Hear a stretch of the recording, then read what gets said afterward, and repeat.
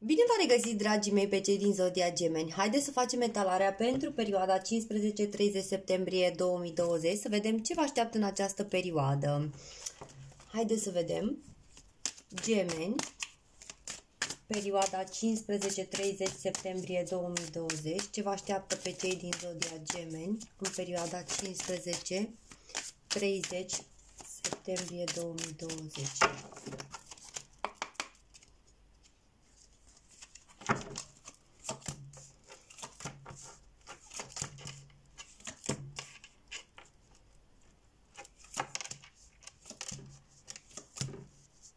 Ok.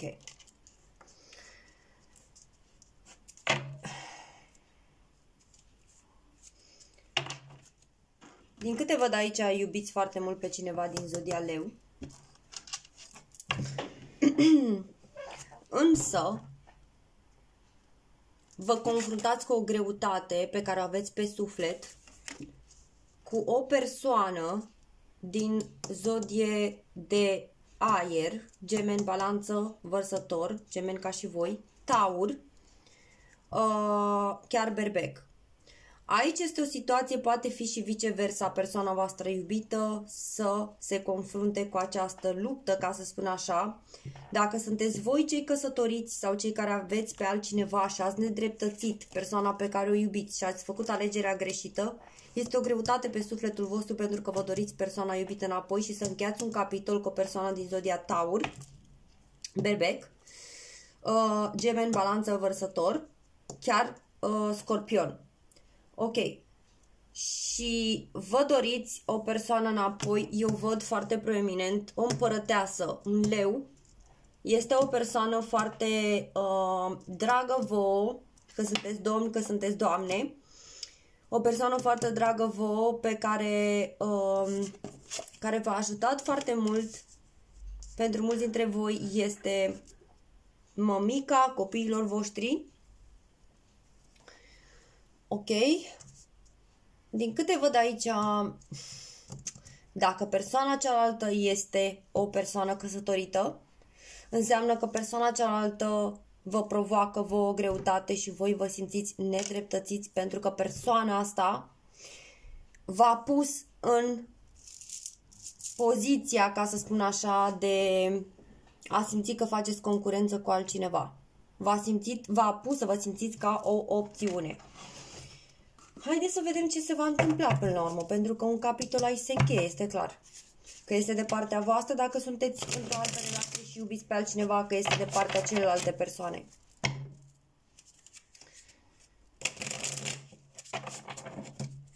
Regina de Săbi. În orice caz ceva se va decide aici și fiind cartea voastră, voi decideți ceva, chiar dacă este cu foarte mare greutate, voi decideți să încheiați ceva.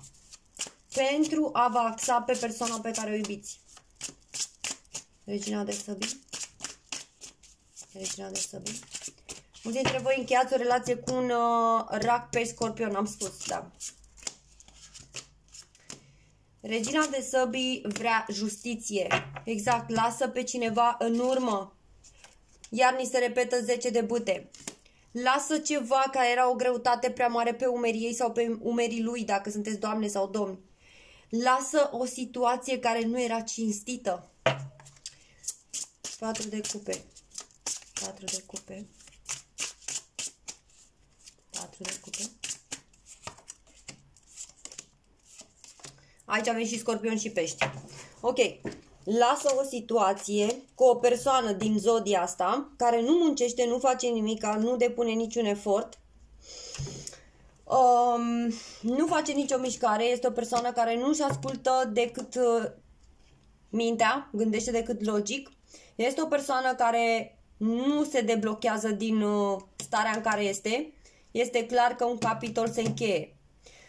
Pentru alții dintre voi simt care aveți de a face cu um, o poveste, o altă poveste pe care o văd, dacă aveți de a face cu un leu care a fost într-o relație cu un pești și trebuie să lase pe cineva din zodia pești, voi și voi să lăsați pe cineva la o parte, este ca și cum voi așteptați să fiți siguri că persoana asta lasă pe cineva în urmă. Um, ca și voi să lăsați o căznicie chiar în urmă să puteți să fiți împreună amândoi. Pentru alții dintre voi care aveți ascendent în zodia pești, este practic o situație, voi știți care, poate aveți ascendent în pești sau un scorpion, um, este o situație în care ați ales greșit cu logica, neascultând ha, și nu v-ați ascultat inima și intuiția, iar acum este practic o situație în care simțiți că ați pierdut o oportunitate cu o persoană dragă pentru că ați ales greșit și vreți să vă ascultați, dacă sunteți în cazul ăsta, vreți să vă ascultați inima și intuiția, să vă duceți către persoana pe care o iubiți, pentru că este o povară mult prea mare pentru voi ce ați ales acum și simțiți că nu este o relație curată și că este o relație care oricum se va destrăma și s-a destrămat. Puterea. Puterea.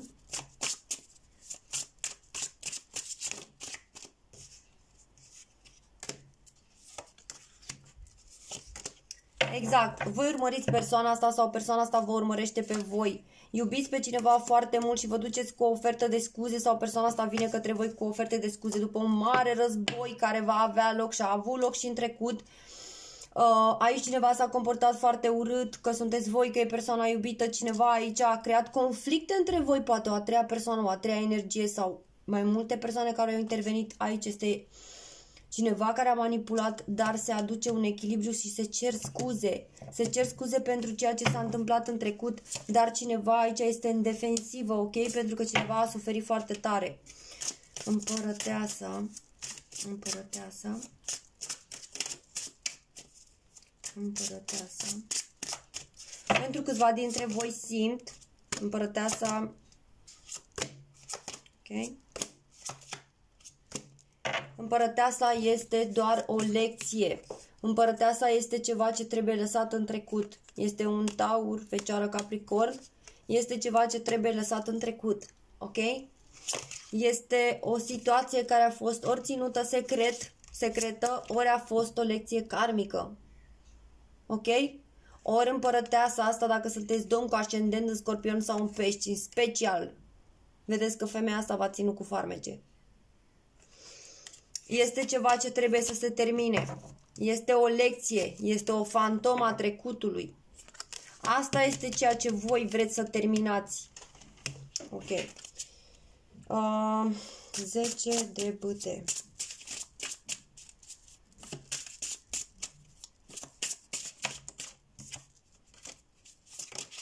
Uh.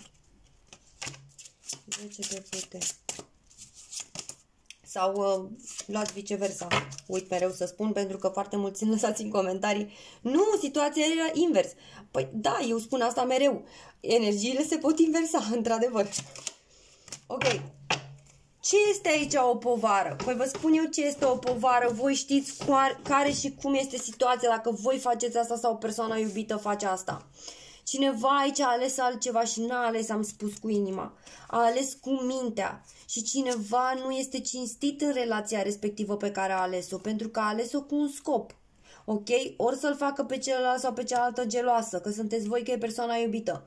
Ori că aveți un beneficiu de acolo. Indiferent de cauză, aici nu se mai suportă să se mai poarte povara asta, să mai mint, să mă mai prefac, să stau în relația asta când eu de fapt iubesc pe altcineva vreau să mă eliberez pentru că sufăr prea mult, pentru că îmi regret persoana iubită și o vreau înapoi. Ok.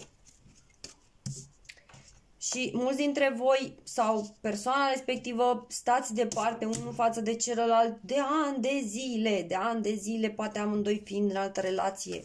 Sau cel puțin voi ați fost căsătoriți și persoana respectivă a avut diferite relații sau inversul, niciunul n-a putut să-și găsească pe cineva sufletul pereche, niciunul n-a fost fericit fără celălalt, sau de câteva luni sunteți despărțiți pentru că, pentru că a apărut a treia energie în viața voastră sau în viața persoanei iubite, lumea.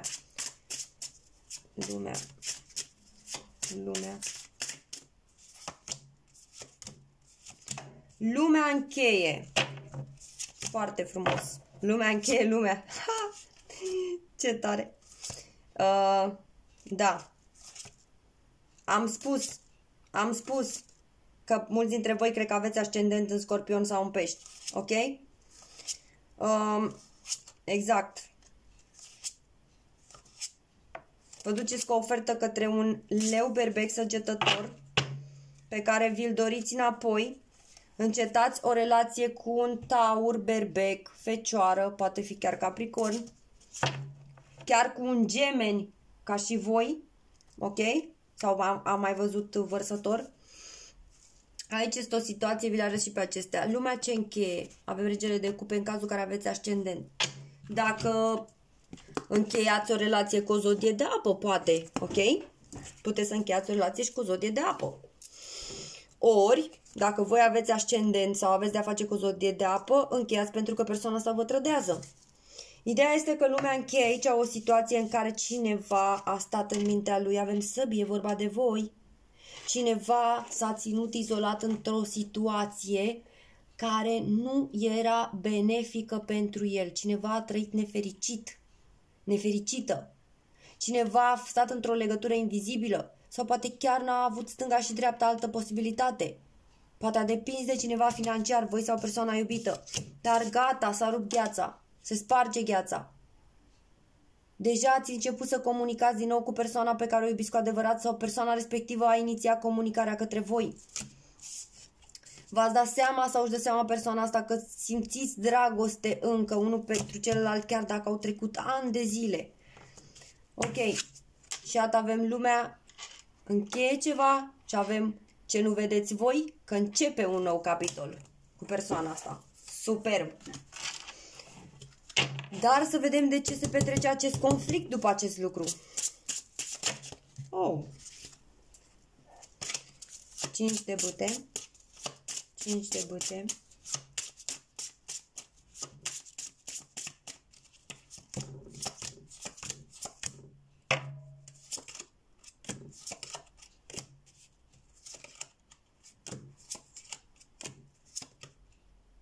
Mm-hmm. Păi de ce? Păi se petrece acest conflict pentru că voi vreți să aveți un nou început, ați înțeles?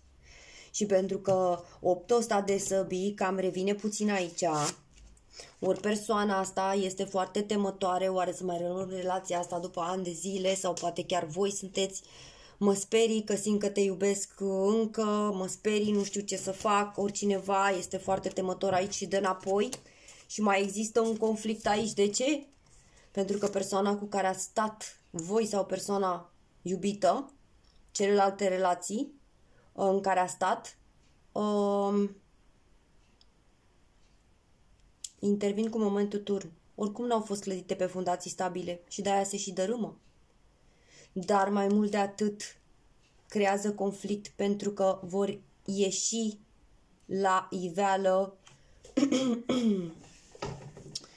sau cum să spun, se vor risca certuri. De ce m-ai părăsit pentru persoana asta? Sau de ce m-ai mințit atâția ani? Sau de ce nu mi-ai spus? Sau de ce așa, bla bla bla. Deci vor exista aceste lucruri, piedici, piedici ca să nu fiți împreună. Dar vouă nu vă pasă. Voi vreți să vă eliberați să fiți cu persoana pe care o iubiți, ok? Și oricum oferta asta serioasă o faceți. Haideți să vedem cine e nouă de pentacule.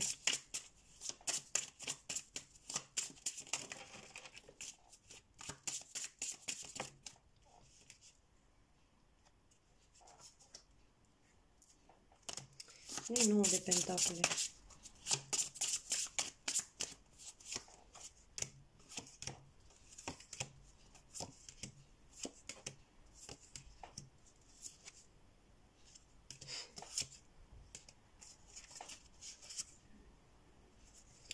Ok. Aici avem 9 de pentacule este o persoană singură pe care voi o iubiți. Ce nu vedeți voi este că și persoana asta încă mai are sentimente pentru voi, dar a fost clarificat de regele de cupe, îndrăgostiții și carul. Cineva care are ascendent în apă, dar nu neapărat că este vorba tot de voi, își face curaj, curaj să plece după persoana pe care o iubește, ok? Pentru că are inima frântă și pentru că nu mai suportă să-și reprime sentimentele și regretă că a făcut cealaltă persoană să sufere. dar are o energie destul de lentă și a avut-o până acum. A trebuit să-și regleze problema dintre minte și suflet până să ajungă la această concluzie și își dorește căsătorie cu persoana iubită. Puh. Doi de cupe. Și doi de cupe.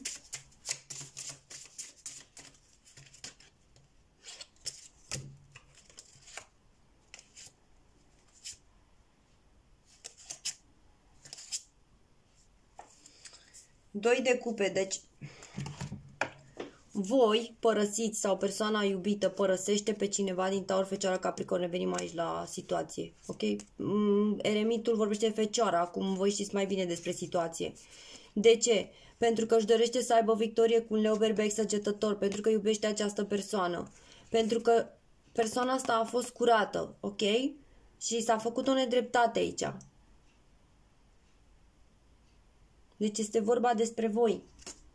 Vă iubiți persoana asta și simțiți că i-ați făcut o nedreptate prin ce s-a întâmplat. Sau simțiți că a fost o nedreptate, că a stat la distanță unul față de ceilalți și voi sunteți pe destin, destinul vă readuce împreună. Poate să fie chiar vărsător sau să aibă ascendent în vărsător, ok? Este menit să se întâmple, nimeni nu poate opri asta. Ce să mai vorbim? Steaua, Marea Preoteasă și Roata. Este menit Nimeni nu poate opri asta. Este pe destin. Este ceva care... Pf, să mai pun și următoarea carte, Soarele. să mai pun... Să mai pun următoarele cărți. Patru de bute și fraierul, care îi aduce un nou început cu o mare bucurie. Iată că avem din nou regere de bute. Deci, clar aveți de-a face cu cineva din Lauberbeck săcetător, de care ați stat departe, pe care iubiți foarte mult și viața va aduce înapoi împreună, pentru că s-a făcut o nedreptate, iată forța leul, și acum aveți claritate că iubiți persoana asta și ori persoana cu care a stat v-a făcut ceva de v-a ținut în relație, uh, ori uh, persoana respectivă a stat, ca să spun așa, într-o relație pentru că a avut ceva făcut, dar aici este ceva ce se termină. Universul termină și spune aduc, aduc două persoane care se iubesc împreună. Pentru că cineva aici n-a fost cinstit. Ok? Și când mă refer că cineva n-a fost cinstit, mă refer uh, în special dacă aveți ascendent în zodie de apă, dar nu neapărat, este vorba despre voi. Este vorba despre voi. În special dacă sunteți domn și doamne, dacă sunteți și a existat o ruptură pentru că persoana respectivă s-a căsătorit cu altcineva sau voi v-ați căsătorit cu altcineva, viața va duce din nou împreună pentru că ceva n-a fost cinstit acolo, ceva despărțit. Haideți să vedem cariera și sănătatea mea. A plăcut etalarea asta foarte mult. Așa. Ce vă așteaptă pe cei din zodia gemeni în carieră și sănătate? Ce vă așteaptă pe cei din zodia gemeni în carieră, sănătate?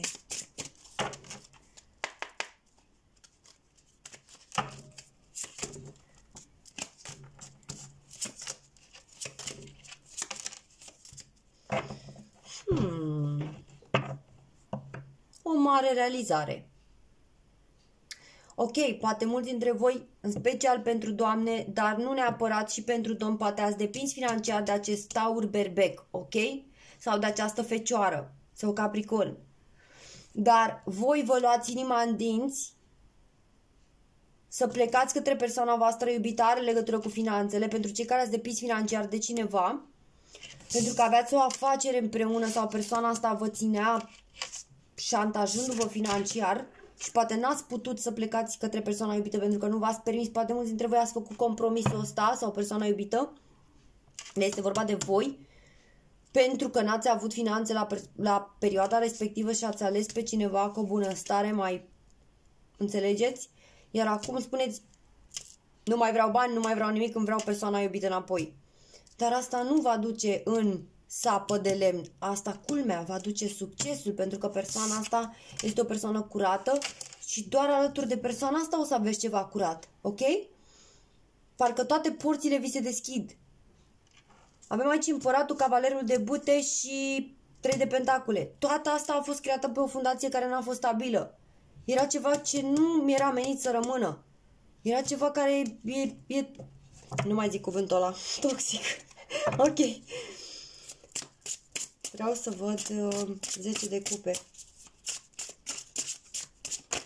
Iar cu sănătatea, exact ce v-am spus, e ceva care vă deschide toate porțile către succes și dacă nu are legătură cu o persoană și sunteți pur și simplu singuri și e vorba de afacere, veți avea recuperare pe toate părțile. Și parcă mulți dintre voi vă însănătoșiți pentru că reușiți în sfârșit să fiți fericiți și toată boala voastră sau toată supărarea voastră se trăgea din cauza faptului că cineva în compania căreia voi erați vă făcea rău pe sistem emoțional. Iar persoana asta care vă face fericiți vă redă cheful de viață, vă redă uh, prosperitatea, abundența, absolut, uite, magicianul, deci absolut tot. Este o persoană din trecut. Dintr-un trecut foarte îndepărtat. Ok? Și cineva aici spune așa. Pe mine nu mă mai interesează să ia am bani. Ia să vedem, împăratul. Împăratul.